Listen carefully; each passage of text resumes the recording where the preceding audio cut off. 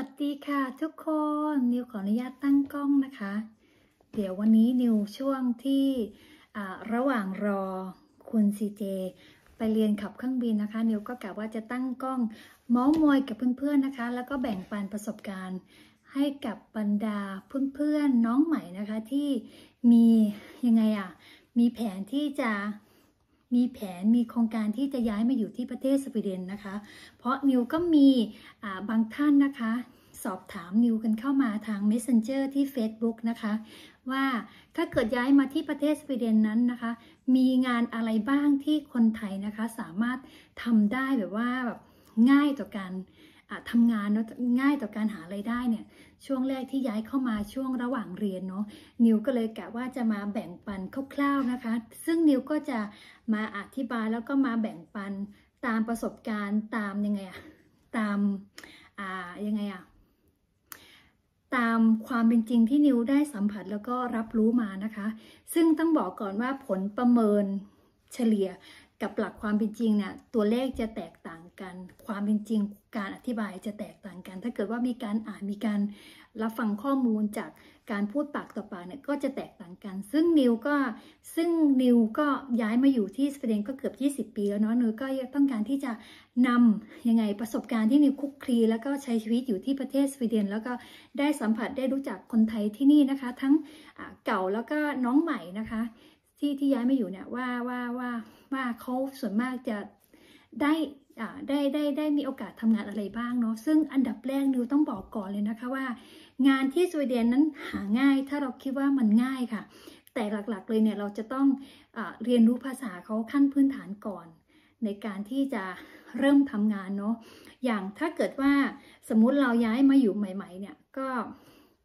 ย้ายมาอยู่ใหม่ ๆ แล้วก็เริ่มที่จะเรียนเนี่ยเริ่มที่จะไปเรียนภาษาขั้นพื้นฐานใช่ไหมคะ ระหว่างเรียนนั้นเราก็สามารถที่จะทำงานได้เบสิกเลยนะ ซึ่งเบสิกเลยนะคะ ที่สามารถทำได้เลยแล้วก็หาไรายได้ส่งไปที่เมืองไทยได้เลยก็คือ ก็จะมีงานอ่าอย่างเช่น งานทำความสะอาด แล้วก็งานอ่าหมอนวดที่แบบคนไทยด้วยการเปิดร้านนวดนะคะ แล้วก็อ่าทำงานเป็นอ่ายังไงอะเป็นลูกจ้าง หลายชั่วโมงให้กับบรรดาร้านซูชิของคนจีนนะคะ แล้วก็แล้วก็ยังไงอีกอร้านอาหารทั่วไปที่คนไทยเปิดนะคะ แล้วก็ร้านอาหารที่แบบว่าเป็นร้านเป็นร้านขายของแบบของของไทยแต่เป็นร้านเอเชียนะคะ เราก็ตรงเนี้ยจะมีโอกาสได้งานเดี๋ยวนั้นเลยนะคะ แต่หลักๆที่สามารถได้เลยเนี่ยก็คืออร้านนวดแล้วก็ ทำความสะอาดค่ะที่นิวสัมผัสมานะคะ เพราะอะไรที่สามารถทำได้เลยก็คือ ส่วนมากเนี่ยคนไทยที่นี่จะมีน้ำใจค่ะเขาจะมีน้ำใจมากเลย ถ้าเกิดเราไปขอโอกาสขอทำงาน ขอฝึกงานเป็นรายชั่วโมงเนี่ยเขาส่วนมากเขาจะ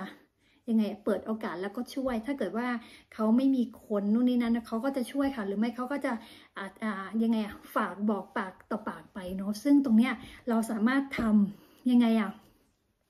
เราสามารถทำได้แล้วก็เขาจะให้เป็นชั่วโมงเนาะเขาก็จะเรียกให้เราไปทำเป็นเหมือนแบบเป็นพนักงานเสริมเวลาพนักงานประจำขาดนะคะ ตรงนี้เราสามารถทำได้ ซึ่งถ้าจะให้ดีเนี่ยเราสมมติเราเราย้ายมาอยู่ประเทศสวีเดนใหม่ ๆ นะคะ พอเราไปเริ่มเรียนรู้จักกับคนไทยที่นี่ก็สอบถามเขาบางทีเห็นร้านนวดตามเขตพื้นที่ที่คุณอยู่นะคะ คุณก็ลองเข้าไปสอบถามเขา เขาก็จะนิวเชื่อว่าคนไทยเขาเขามีน้ำใจค่ะ นิวมั่นใจนะคะ ที่สวีเดนเนี่ยโดยเฉพาะที่สวีเดนเขามีน้ำใจเขาจะแนะนำหรือไม่เขาก็จะฝากจะฝากให้แบบว่าทำงานเนาะแต่ว่าในเรื่องของราคารายชั่วโมงนั้นก็ต้องขึ้นอยู่กับร้านนั้นมีการตกลงกันเนาะตรงนี้ตรงนี้นิวก็ตอบไม่ได้ว่าราคาชั่วโมงเท่าไหร่เขาจะให้ยังไงเนาะแต่ถามนิวว่าอ่างานอะไรบ้างที่คนไทยสามารถทำได้ก็ หลักๆก็จะเป็นประมาณนี้นะคะ ที่สามารถทำได้เลยเวลาเราย้ายมาอยู่ประเทศสวีเดนเนาะเพื่อที่ว่าเราจะได้มีเงินรายได้ส่งไปอ่ายังไงส่งไปเมืองไทยแล้วก็ต่อยอดในการอ่าสร้างสร้างอ่ายังไงอะสร้างเครดิตของเราเนาะแล้วก็ถ้าถามว่าคนไทยส่วนใหญ่ทำงานอะไรกันที่นี่นะคะ ต้องบอกก่อนเลยว่าถ้าเป็นแต่ก่อนเมื่อยี่เกือบ 20 ปีที่แล้วที่นิวเห็นเนี่ยก็จะส่วนมากก็จะทำความร้านทำทำความสะอาด เป็นผู้ช่วยกุ๊กนะคะ แล้วก็ทำดูแลคนแก่ แล้วก็บางบางท่านก็เปิดร้านนวด แล้วก็เปิดร้านอาหารแบบว่าเป็นเป็นเป็นร้านอาหารบ้านนะคะรถที่แบบจอดตามเขตต่างๆเนาะเป็นเหมือนเหมือนฟุตฟุตคาร์เนาะที่เป็นมีเป็นรถที่แบบเคลื่อนที่ได้เนาะซึ่งนิวเห็นเมื่อต่ก่อนนะคะ แต่ณปัจจุบันนี้ต้องบอกเลยว่า คนไทยที่ย้ายมาอยู่ใหม่ก็ส่วนบางท่านก็ ยังไงอะนิวเห็นอาชีพหลากหลายมาก มีอาชีพกันหลากหลากหลายมาก บางทีก็เป็นนายตัวเอง บางทีก็ยังเป็นลูกจ้างประจำอยู่เนาะ แต่ที่นิวเห็นความเปลี่ยนแปลงถ้าเปรียบเทียบจากเมื่อเกือบ 20 ปีที่แล้วนะคะ คนไทยที่ย้ายมาอยู่สวีเดนเนี่ยเขาจะเก่งมากเขาบางทีก็เป็นช่างตัดผม เปิดร้านตัดผมแบบเป็นจิตจลักษณะเลยนะคะ แล้วก็เปิดร้านอาหาร แล้วก็เปิดร้านขายของชำแบบอาหารของคนไทยอะค่ะ แล้วก็ แล้วก็บางท่านก็ยังไงอะทำงานขับรถบัสค่ะ อันนี้ขับรถบัส ขับรถแท็กซี่ทำงานสนามบิน คือไม่ใช่แบบว่าเป็นอาชีพแค่เบสิกเหมือนแต่ก่อนแบบว่ายังไงอะแค่ทำความสะอาดดูแลคนแก่เป็นเด็กเสิร์ฟเนาะตอนนี้คือคนไทยคือมีอาชีพหลากหลาย ตรงนี้ต้องขึ้นอยู่กับว่าความยังไงอะ ความคล่องความสะดวกของแต่ละคนเนาะเพราะว่าบางอาชีพเนี่ยต้องใช้เวลาในการเรียนเรียนเพื่อ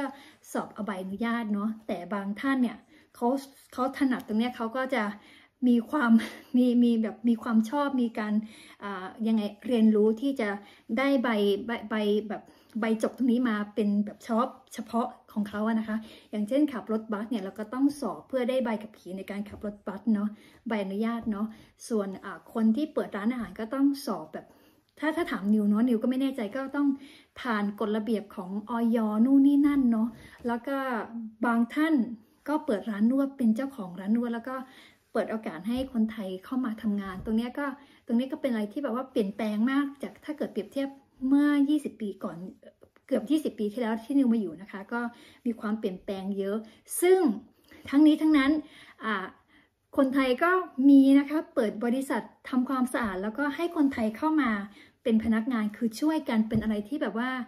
ง่ายนะนิวถ้านิวถามว่าในประเทศสวีเดนเนี่ยคนไทยหางานง่าย แล้วก็มีโอกาสได้งานเยอะหลากหลายเยอะ แล้วก็บางท่านน่าภูมิใจมากทำอยู่ในโรงแรม 5 ดาว บางท่านก็เป็นพนักงานแบบแบบหมอนวดในโรงแรมที่แบบห้าดาวเหมือนกันตามห้างดัง ๆ ต่างๆเนาะแล้วก็ทำงานแบบ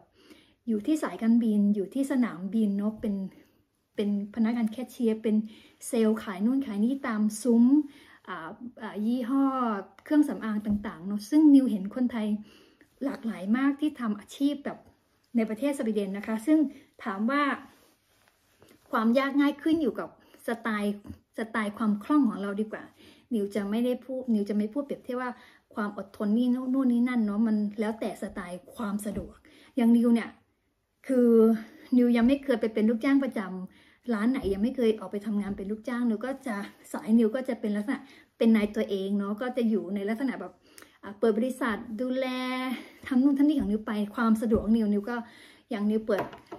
บริษัทปล่อยเงินกู้เนาะนิวก็ต้องไปเรียนเพิ่มเติมที่จะได้มีความรู้ได้ได้แบบมีความรู้พัฒนาตัวเองในการดูเครดิต แล้วก็หลาย ๆ อย่างเนาะซึ่งซึ่งตรงเนี้ยมันก็